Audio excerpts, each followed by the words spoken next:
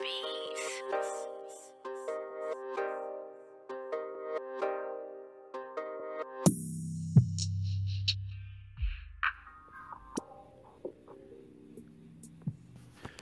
Yo, what's up, YouTube? This is your boy Junior, aka Smoking Guns, out here in Tucson, Arizona, representing the Ultimate Fight Club, giving you the latest content in boxing and MMA news that is out. So, today's video, we're going to be talking about the Tyson Fury Deontay Wilder press conference. Dude, that thing was off the friggin' chain, man. If you guys have not seen that, you definitely got to check it out. And if you guys plan on watching the fight, make sure you show your support by the pay per view or if you're in the Southern California area, buy yourself some tickets and go and check that mug out live because I know that mug is going to be on right there. Now, also in this video, we're going to be going over an article from the boxing scene which they are quoting a statement Deontay Wilder made at that press conference. And that statement that he made was, I ain't afraid to get rid of the yo on my record. Now, in the article, it states Deontay Wilder was on a rant against those who have dodged his former opponent, Luis Ortiz, out of fear. Ortiz is big, skillful, and has a habit of inflicting pain on his opponents. All reasons that few heavyweights, even the top ones, haven't been eager to tangle with the Cuban defector. Ortiz almost stopped Wilder before falling himself in March.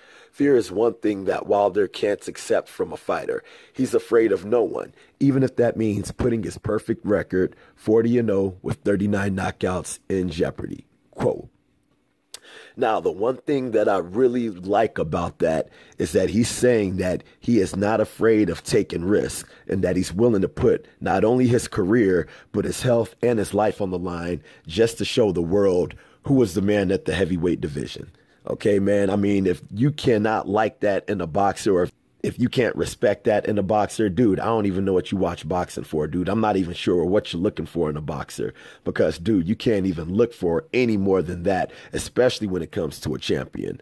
Now, at this press conference, dude, it was friggin' live, man. I'm talking about him and Tyson Fury. They was going at it, man, and a lot of banter going back and forth. Now, the one thing that I really noticed at that press conference is that Tyson Fury, he was more of the colorful, playful person that he was leading up to the friggin' press conference when they were doing their little media tours up in London, New York, and LA and all that different kind of stuff.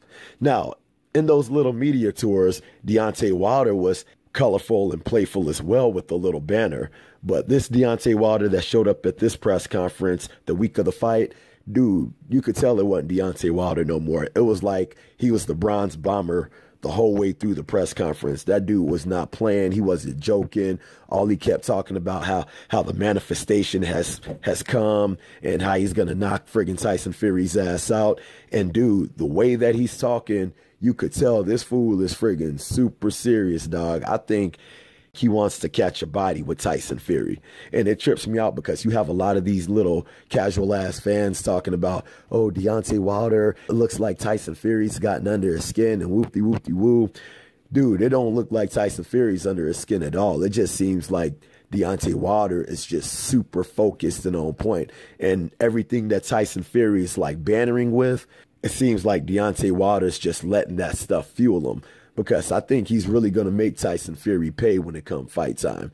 Now, also going into this press conference, one of the main things that really hit home with me was they had gotten to each other's face after they did the little banner back and forth when they were being asked the questions and everything. And uh, they had the little face off both of their camps faced off. Deontay Wilder and Tyson Fury, they were face to face at the little face off. And dude, they just started going ham on each other. You could see Tyson Fury talking crap and Deontay Wilder was straight going off, talking about, yo, I'm going to knock you the F out. And you could see Tyson Fury was still being his playful self. I don't know if he was just being playful, trying to get into his head, but you could tell Deontay Wilder wasn't, just wasn't having it. That homie was friggin' going ham, talking about, dude, I don't give a damn how big you are. I'm going to knock your ass out, just going off.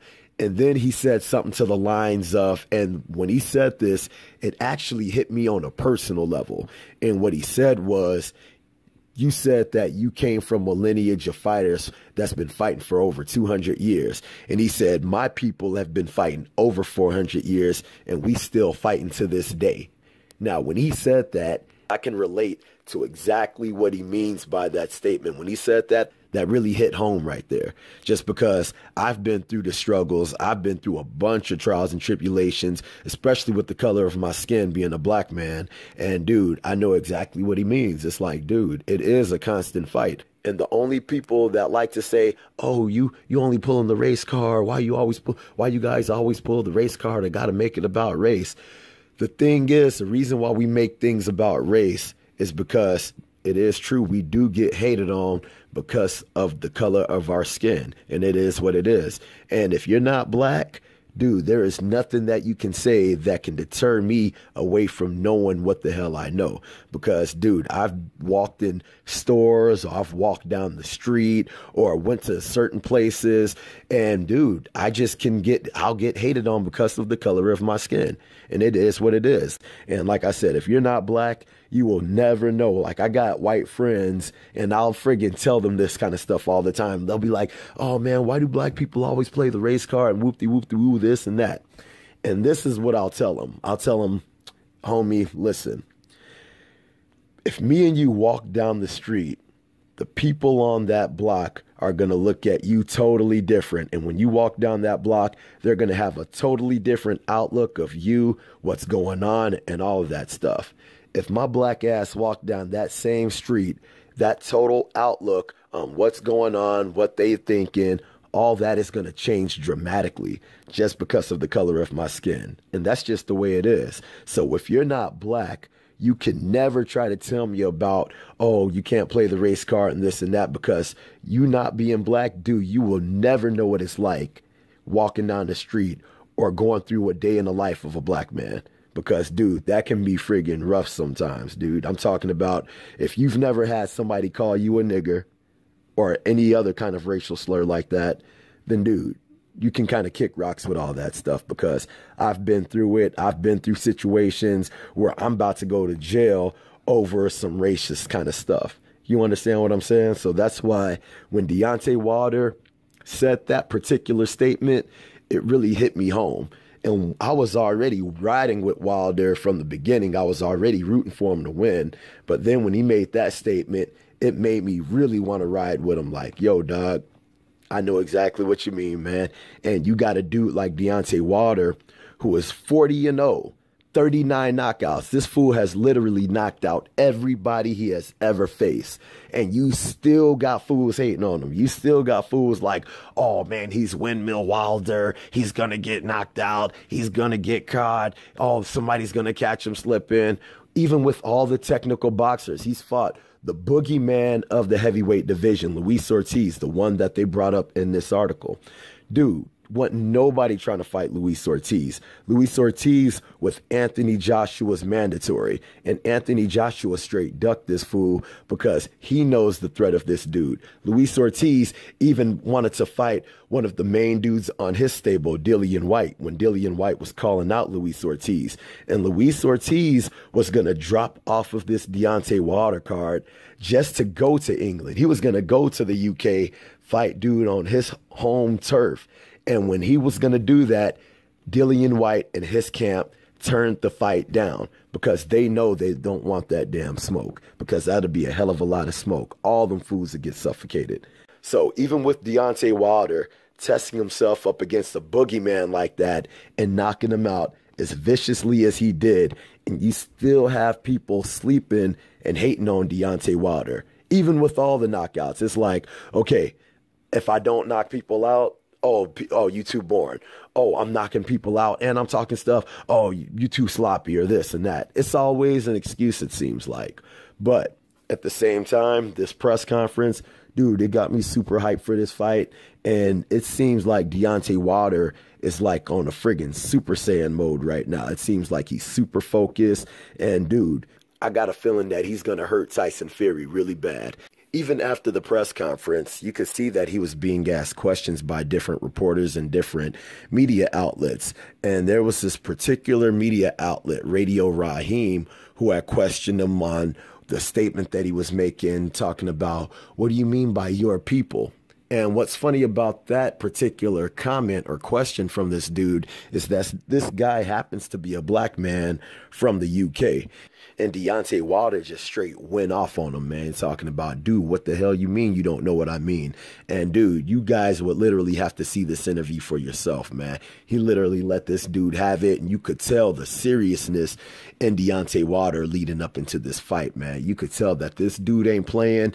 And like I said earlier in this video, it really seems like this dude wants to prove to the world who the number one heavyweight fighter is in the world and it seems like he's trying to make a statement so all the other fighters in the division get put on notice that if you effing with Deontay Wilder, your ass is going to get knocked out too. I mean, the dude has literally knocked out everybody on his friggin' record if you can't take that serious, shoot, I don't know what else you need to be able to take him serious, man. So he's a heavyweight champion of the world. He's from the U.S. So it's about time that we start backing this dude, man. This dude is a U.S. champion, and you got all these other champions from all over the world. You got dudes from the UK, dudes from the Ukraine, you got dudes from this place, dudes from that place, and their people back them to the fullest. I don't care how bad they suck. You know what I'm saying? Like they could be the suckiest damn fighter, but they dudes will friggin' ride or die with their asses. So having a dude like Deontay Wilder, 40 and 0, 39 knockouts,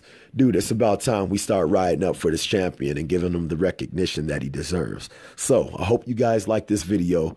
If you guys like the video, make sure to hit the like button. If you're not subscribed to the channel, make sure you subscribe to the channel. And if you guys have any kind of questions, any kind of comments about this, make sure to hit me up in the comment section and I'll be sure to hit you guys up. Okay. So I hope you guys like the video. Holla at your boy.